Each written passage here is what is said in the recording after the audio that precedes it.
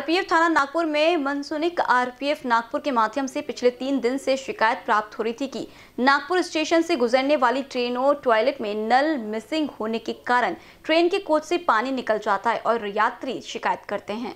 इस शिकायत पर दिनांक 7 जनवरी 2022 को आशुतोष पांडे, वरिष्ठ मंडल सुरक्षा आयुक्त नागपुर महोदय के निर्देशानुसार आर एल मीना, निरीक्षक आरपीएफ थाना नागपुर के मार्ग निर्देशन में संदिग्ध की सुराग्रसी के लिए एक टीम का गठन किया गया। उक्त टीम सदस्य सौनी सीताराम जाट सौनी रामनिवास यादव आरक्षक मुनेश गौतम आरक्षक अजय सिंह, आरक्षक नीरज कुमार, आरक्षक जितेंद्र मौर्य, आरक्षक नवीन कुमार को नागपुर स्टेशन पर प्रत्येक ट्रेन के प्रत्येक कोच पर निगरानी करने के लिए लगाया गया। निगरानी के दौरान नागपुर स्टेशन प्लेटफॉर्म नंबर पाँच पर समय बारह बजकर पैतालीस मिनट पर ट्रेन नंबर दो दो एक चार एक को चेक करते समय कोच नंबर बी तीन के टॉयलेट में एक संदिग्ध दिखाई दिया, जो रेलवे कोच के टॉयलेट से नल निकालकर चोरी कर रहा था, जिसको आरक्षक मुनेश गौतम ने रंगे हाथ पकड़कर चेक करने पर उसके पास 10 नग रेलवे के नल मिले, जिसको अग्रिम कार्रवाई के लिए सोनी रामनिवास यादव के समक्ष पेश करने पर पूछताछ के दौरान उसने अपना नाम सिकंदर जाहिद खान, उम्र 35 वर्ष, पता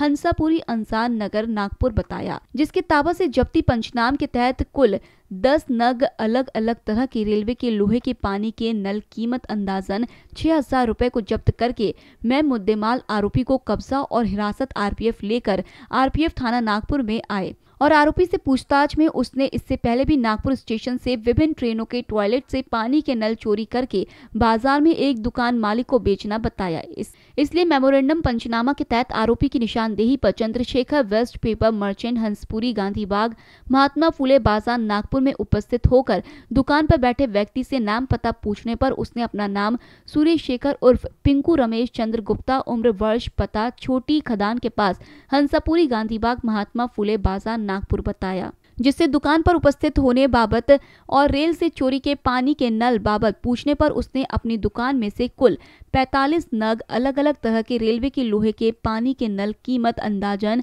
पाँच हज़ार सात सौ रूपए पेश किए, जिसको जब्त करके मैं मुद्देमाल आरोपी को कब्जा और हिरासत आरपीएफ लेकर आरपीएफ थाना नागपुर में आए। और दोनों आरोपियों से पूछताछ करने पर रेल संपत्ति की चोरी करके अवैध रूप से अपने कब्जे में रखना पाया। दोनों के ताबा से कुल पचपन नग नल अंदाजन कीमत ग्यारह हज़ार सात सौ रूपए बरामद किया। इसलिए उक्त दोनों के खिलाफ आरपीएफ थाना नागपुर में अपराध संख्या एक बटे दो हज़ार बाईस कलम तीन ए आर पी एक्ट एक